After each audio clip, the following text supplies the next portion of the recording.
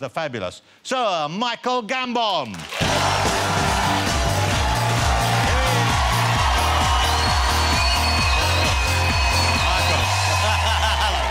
Come and sit down and relax and... I think... I think that was the David Guetta walk-on uh, remix they, yeah. they did by mistake.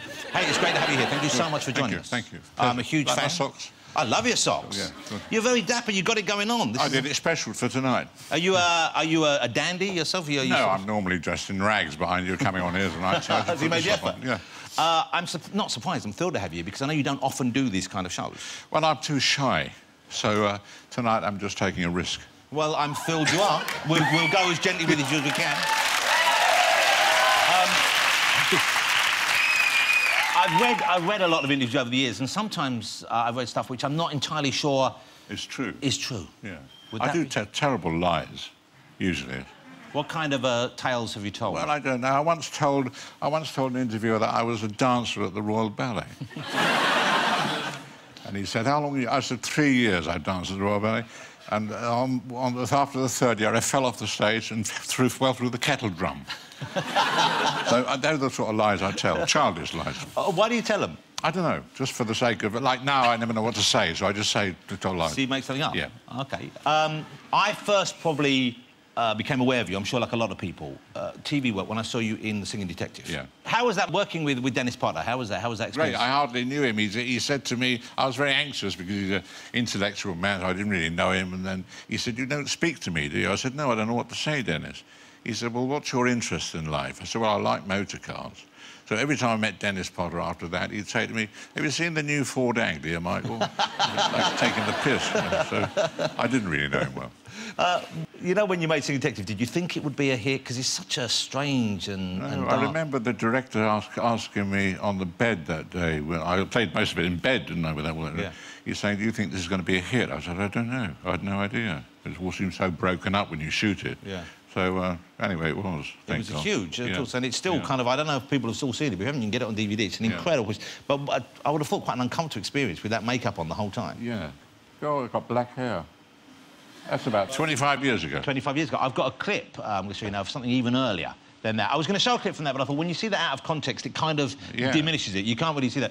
Uh, but it's a clip from... You're in one of my favourite British horror movies of the 1970s. Uh, I don't know if you remember Coming making up. The Beast Must Die. Oh, don't mention that. Yeah, we... it's in... No, come on, it's a cracker. Uh, it's got Peter Cushing in. This is Sir Michael Gambon way back when. It's the worst film I've ever made. That was how they did it back then. Ah, dear. that's, that, that's the best I've ever been. no. But, but, you know, it looked like... I imagined that was a lot of fun to make. well, it was hard to make because I kept laughing all the time. when you got rid of me, I couldn't keep a straight face. the least convincing werewolf Oh, I've ever seen great. in my life. Yeah. But now I imagine you've reached a whole different audience with the Harry Potter films. Oh, yeah. I've been on... I think I was seven years on those. Wow. I took over the part, and uh, they've been the greatest years of my acting life, really. They've been fantastic. In what way, though? Because it's not the most challenging role, I would have thought. No, it's quite simple, really. I just copied uh, Richard Harris, put a different costume on, and, uh, and then towards the end, um, J.K. Rowling told, said that I was gay. Yeah, well, Dumbledore was gay. She so I- outed Dumbledore, She yeah. outed me Yeah. and apologised. She Wrote me a letter apologising for that. So I had to play him gay from then on. But, uh, but uh, Daniel Radcliffe soon put a stop to that. So. You weren't... uh, uh, It wasn't sort of, like, noticeably more camp, I don't think. But there were one or two lines when we knew he was gay, and I remember seeing there was one scene in... I think it was the last one film where you're in a dark cavern with, with Harry and you go, one's out, Howie. And I remember thinking that could be taken the wrong Yeah, way. well, I like that. I went like that a bit, with a wand. Uh, but what a great cast to work with as well. I mean, Yeah. some I'm sure you'd worked with in the past, because Maggie Smith, Oh, you, yeah. you, would known her for donkey's I've known years. her since I was 23. You know, you mentioned Richard Harris. Uh, was he someone, did you hang out with him, with O'Toole back in the days when they were kind of wild? I knew them. I knew them. I knew Peter more than Richard. But uh, yeah, I hang around in the Buxton Club in the 60s when getting pissed was normal. You don't do that anymore. Well, it seems that acting is, is taken more seriously now. I don't know if that's fair. Yeah, but it's that- not so much fun anymore. People are more worried about it all. In the 60s at the National, it was just uh, easier somehow. I don't know. Um, I've seen uh, Sir Michael on stage. I saw you in Endgame, uh, the Beckett play, where you were with Lee Evans. Lee Evans, yeah. Some people would have thought was strange casting, but I get the feeling you no, got he on was well. brilliant. We're going, I was best mates, but he used to plead with me every night not to make him laugh because he couldn't cope with that. So, uh, but I used to try. But here's a dark and serious play uh, you're making him laugh on stage. Is that that's kind of a dangerous thing to do, isn't it? Well, it's, if you're skilled, you can do it without anyone knowing. anyone knows is Lee. How would you uh, How would you do that? Well, how would you? Just on. he, he pushed me around in a wheelchair all night. You remember that? Yeah, yeah. And so I, I've got all sorts of tricks. So you would pretend to fart Yeah. under your breath. Yeah. And hope to crack him up. Just to get Lee. But this is a kind of uh, considered a masterpiece of modern theatre. It is. Of course, Beckett. And, we you're- played it as such. You Yeah, know, we yeah. didn't muck about. I mean, the only muck about when we get the audi- back to the audience, Yeah, yeah. you can have a laugh. You, You know. could mess around. Yeah. Um, but you, uh, you seem to be the go-to guy when people were doing Beckett. You've done an awful lot of Beckett, haven't you? I've done a hell of a lot of Beckett, and I'm doing one now. I'm just about to start, and uh, we've got uh, we had we had no no bookings for our four-week run until um, recently when we've uh, Eileen Atkins has taken over, Dame Atkins. and suddenly the bookings have shot up. Now it's packed out solid. I ca I, it's, it's, this sounds intriguing, though. Yeah. This, uh, what, it's based on a radio play, or it is about a radio play? A radio play written in 1957 uh, for the radio, but in this is a play on stage. But we've only started rehearsing it, so I'm not sure what's going to happen. So you're thinking of doing it as if we're watching a radio play, is that right? you're watching a radio play. So we're there with scripts. We have to have scripts and uh, microphones, and we're reading the script. And that's all I know so far. But that must be, in a way, a dream, because presumably It could be, it could be a bit boring, me, I. But presumably you don't have to learn the lines if it's... No, and that's a relief, you know. I mean, I, I, I'm not very good at learning lines now, and uh, I've been in America where they put earplugs in my ear, and so they just play the lines to you over the, over the time. So they tell you what to say? yeah, you just say it. That's how um, Marlon Brando used to work, didn't you? You worked with Brando. I worked with Brando, yeah. He was great fun. And um, he, he would c- continually muck about by...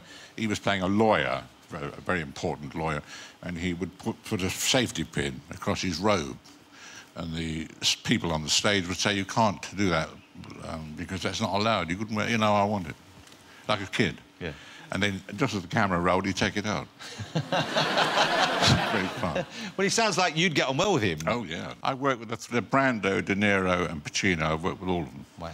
So that's enough for me. Do you do accents and stuff like that? Can you do... Because we've got uh, Mr Guetta, who's French, of course. Yeah. And we've got John Bishop, who is a Lilliputian. Yeah. Do you do... Can you do the Scouse? Which is a hard accent to do. I can't do it. I once did a film with Michael Caine in, in, in Russia, and I had to play a, a Russian uh, interrogator, interrogating him. And at the end of the shot, he's, I said, What was my accent like, Michael? Because I was a Russian. Yeah. He said, very good. Started off in Russia, drifted over towards Spain, was in Italy at one point, then to France, and ended up in Lewisham. He, uh, I can't imagine him enjoying being in Russia because I interviewed him once and he'd been in Malta and I asked him what Malta was like and he said it was fing terrible, Yeah. just courgettes to eat every meal. what, what was it like in Russia? Well, in Russia, he used to have food sent over from London to his trailer. What kind of food? Uh, ordinary stuff, you know, uh, pork pies and uh, sausages. His wife used to bring it over on Fridays. And if you had to eat out, did he eat out in Russia? Did I'm not sure. food? I'm not sure. Yeah, I once had food with him in a restaurant, and he said to the waitress, who couldn't speak English, he said, "I'll have my usual."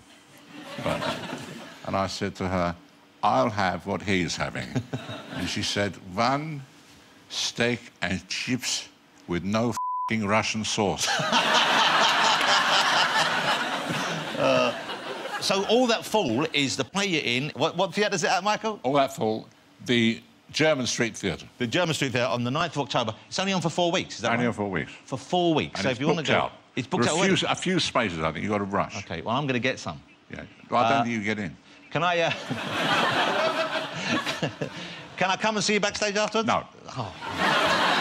And after that, do you know what you do? Do you have like a, a game plan? Do you have like a year or two years planned ahead? No, nothing. I just go from day to day. If I get a job, I'll do it. If I don't know. Have you been out of work for long periods? I guess all actors I don't think I've ever been out of work. Wow. Very rarely. I'm lucky.